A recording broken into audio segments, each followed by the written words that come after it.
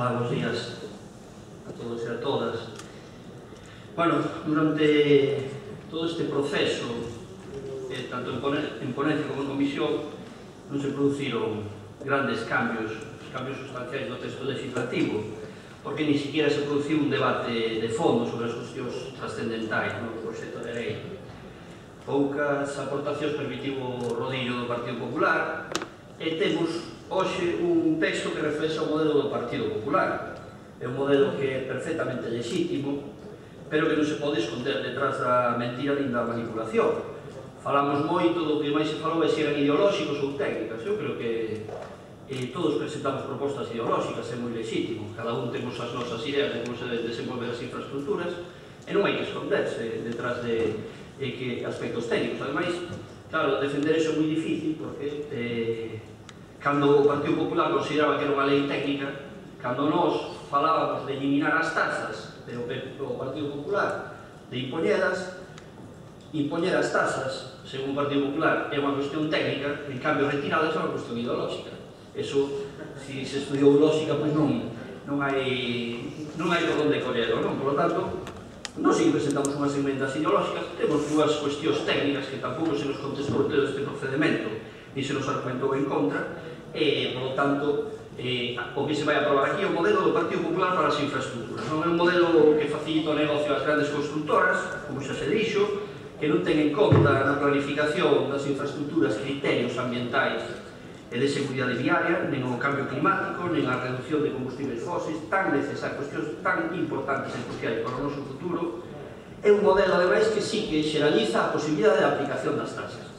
E al canal desto vai unha deuda parte, porque nós leímos, en todos os debates, leímos o artigo 31, que tamén o artigo 34, e do Partido Popular se nos contesta de que no, que iso só é para eh, cobrar tasas no dominio público. Bueno, pues, a obriga das leis é que teña unha redacción perfectamente eh, perfectamente eh, redactada, non? O sea, que, que se entenda ben. En daquela leemos, artigo 31 recursos xerados pola explotación das estradas. Me gustaría que despois me argumentaran por que isto di o Partido Popular que non vai poñer as tasas.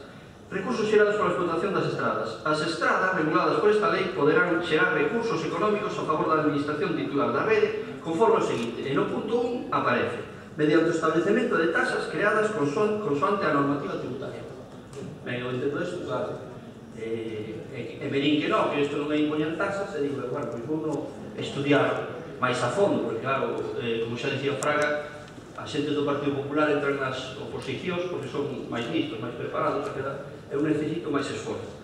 Esta fixen un análisis sintáctico, collín o libro de meu fillo e fixen un análisis sintáctico, non, da, da frase, da queda, fun o verbo, poderán xerar, non, poderán xerar, é o verbo. Quen poderá xerar, como me enseñaron o análisis sintáctico, as estradas reguladas por esta lei. Eso é o xuxeito desta frase. Complemento directo que é que poderán xerar, que poderán xerar recursos económicos a favor da administración titular da rede conforme o seguinte. E como complemento indirecto de forma que isto xa está desfasado, agora se chama complemento instrumental. Como? Mediante o establecemento de tasas creadas consoante a normativa tributaria. Bueno, pois eu, por moitas contas que lle dou, aquí o que vexo é a posibilidade de aplicación de tasas a calquer estado. Ben, pois espero que se me conteste, se estou eu engañado, non? Bien, o modelo do Partido Popular caracterízase por tres cuestións. Aposta pola financiación en base a colaboración público-privada, xa se dixo aquí, pola aplicación xeralizada das tasas, e pola ausencia casi total de objetivos e ambición con respecto aos temas eh, ambientais. En canto á colaboración público-privada, que xa se falou moito, nós chamámonos de risco público e de beneficio privado. Non? Na anterior lei non se contemplaba este tipo de financiación a non ser como caso excepcional. Neste proxecto xa se dá carta de normalidade. De normalidade non? Neste tipo de financiación os custes financeiros son moi superiores aos da financiación directa da administración pública, chegando incluso paradoxo de que son instrumentos públicos de créditos que acaban financiando moitas destas infraestructuras, que é pechar o círculo do saqueo. As empresas nin asumen risco E agora ni siquiera financia, xa as financian os instrumentos públicos de crédito, só reciben suculentos beneficios. E mentras nos asistimos ao saqueo das contas públicas, xerando uns beneficios fabulosos á banca e ás empresas constructoras, empresas que non asumen ningún risco. Aquí xa se nomeou o exemplo que se está a producir nas autostradas radiais en Madrid, é un exemplo moi claro dun saqueo planificado a gran escala, de rescate que vai a costarnos perto de 4.000 millóns ou máis, dependendo dos precios das expropiacións e do sistema de expropiación, vai que, bueno, normalmente os expropiados son os últimos en cobrar, non? Pois o executivo de don Mariano Rajoy vai a constituir unha sociedade pública que reúna as nove empresas concesionarias que van a ter unha pequena participación, seguramente, para que cando se saneen volvan a, a ter maioría de accións nesta empresa, como xa se fixo, e eh, rescatadas. Unha dación en pago, pero o bestia. Dación en pago que non se fai cas entes que son expulsadas das súas casas, pero que sí que se fai cos bancos e se fai cas eh, grandes empresas de infraestructuras. E recupera o modelo anterior a 2003, que había unha empresa nacional de, autoestra de autoestradas. 2003, que daba beneficios e que foi privatizada. Eh, pois, como sempre, eh, a socialización das perdas e a privatización dos beneficios.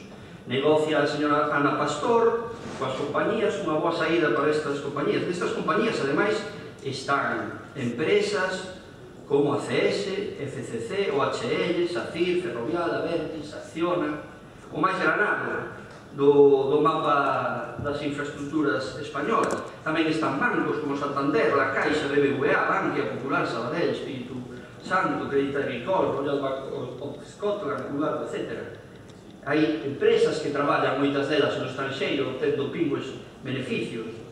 E pois tamén parte da banca son o que foron caixas de aforro que están como están en parte gracias a negocios tan suculentos como este. O sea, dentro das caixas que financiaron estas autostradas que nos van a costar casi 4.000 millóns de euros estaban Caixa Madrid, ahora Bankia eh, Caixa de Aforo do Mediterráneo Nova Galicia Banco tamén, Cajas Tur, Cajamar, Caixa Murcia etc Por lo tanto, ao Partido Popular non se lle ocurre que estas empresas que ganan, eh, que teñen beneficios eh, de facer infraestructuras no estranxeiro, pois se fagan claro ca cargo destes, deste coste, deste rescate non. No, eh, ao Partido Popular a súa política social vai dedicada a estas empresas. Depois, un exemplo máis cercano é a DASA tamén, que eh, foi rescatada eh, públicas e cando dá beneficios tamén se privatiza, se suben as peaxes, e xa está super amortizada e aquí seguimos pagando para que outros se deben os beneficios. Non? Outro exemplo tamén que aquí se puxo foi o Hospital de Vigo, que nos vai a costar 4 veces máis en base á súa financiación público-privada, etc. etc. O sea, que o Partido Popular está apostando por seguir con este modelo de saqueo. É un modelo que é un mal negocio para nós, para a maioría, é un bon negocio para as empresas.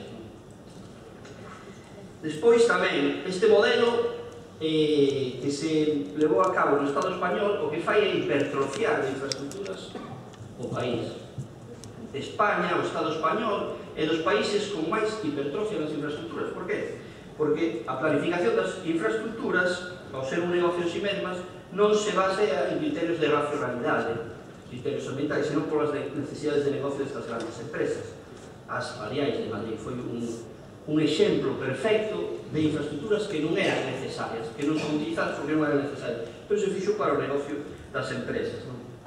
Por tanto, tamén é necesario, ante estes buracos creados polo Partido Popular, tamén é necesario estender as taxas a toda a población. para sostener este negocio que estender as taxas a toda a población. E aquí é outra das cuestións, das novidades trascendentes que ten este, proxecto de lei contra que nós enmendamos e que non foi aprobada que é a imposición dunha taxa por uso das estradas eh, que son unha demanda unha demanda máis do sector da, das empresas das grandes constructoras unha demanda dos sectores máis neoliberais. Eso sí, sectores neoliberais cuyos negocios son feitos á costa da, do erario público.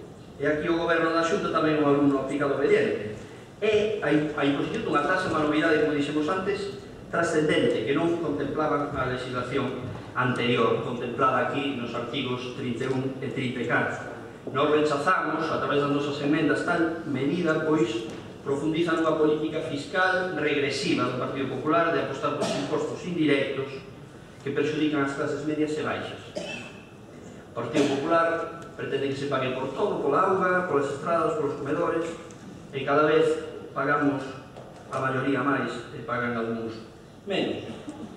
Pois hai un par de cuestións técnicas que, repito, que tampouco foron aceptadas. Presentamos dúas, dúas enmendas, que estas sí que son cuestións técnicas, que en canto ao financiamento vía enaxenación do aproveitamento urbanístico dos terrenos de dominio público vial, que para nós o artigo 23.4 do proxecto de lei, ainda sen decilo, modifica a lei 9 de 2002 eh, o artigo 32.2 relativo ao solo rústico de protección de infraestructuras. De xeito que nesta, nesta lei, os terreos situados entre a liña de dominio público e a liña límite de edificación deben ser clasificados como urbanizables, e non como rústicos de protección de infraestructuras, como di a lei 9.2002. Nunca se nos argumentou en contra, non sabemos por que, pode ser que nos estemos equivocados. Tamén o artigo 28 é novidoso, o noso parecer tamén é ilegal, e tamén por ser eh, contrario á legislación de expropiación forzosa, como a, o texto refundido da Lei do Solo 2008, eh, prevése a figura de expropiación do solo sen aproveitamento urbanístico. Eso significa que pagaríase só solo valorado como rural, pero deixar no mans do titular o aproveitamento urbanístico atribuído aos terrenos. Tal previsión infringe os preceptos básicos estatais de que o valor expropiatorio das infraestructuras será correspondente á súa situación fáctica. De xeito que a expropiación de terrenos en situación de solo rural, ainda que se inclúan en sectores de solo urbanizable, deben ser valorados sen ter en conta dita clasificación urbanística. E pola contra, se os terrenos están urbanizados, a valoración dos mesmos inclúe o seu aproveitamento urbanístico. A, final, a finalidade da proposta do Partido Popular é clara, rebaixar o valor expropiatorio, ou urbanizado. Non? Para nós carece de amparo legal, pero tampouco se nos argumentou durante todo este procedimento.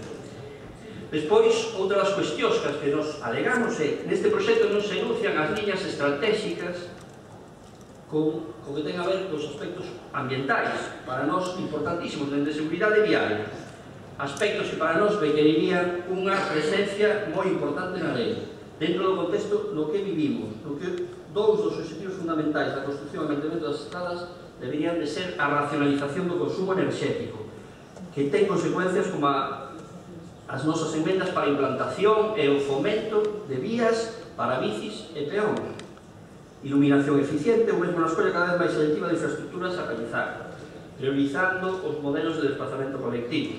Tampouco vemos nesta lei unha importante presencia de ninguna liña estratégica ao respecto, hai unha estrategia estatal do procambio climático, no plan de transportes tamén hai unha estrategia de reducción de gases eh, de cambio, que provoca o cambio climático, tamén hai unha estrategia de promoción dos modos saludables, e incluso na rede transeuropea de transportes se inclúe como aspecto estratégico a habilitación de máis de 70.000 km de vías bici. Parece que tampouco o Partido Popular se entera en Europa está vendo un boom auténtico das infraestructuras, tanto urbanas como interurbanas, para os capitalismos. Tampouco se enuncian como os objetivos da legislación eh, aspectos como a seguridade viaria. Admitíronse, sí, dentro da exposición de motivos, enumerar o cambio climático, enunciado, pero sin medidas no articulado, e alguna mm, tamén sobre seguridade viaria o Partido Socialista, pero tamén de non moito eh, calado. Non? Por lo tanto, tampouco hai objetivos nese. Ante todo isto, o noso voto non pode ser máis que máis que en contra. Creemos que das aportacións, das novas aportacións con respecto á legislación anterior, só eh, aparecen aspectos como a colaboración público-privada e tasas, modelo de negocio, recaudatorias, en cambio, na Na parte das ausencias, non notamos a ausencia dunha política con objetivos medioambientais e de seguridade viaria Muito agradável.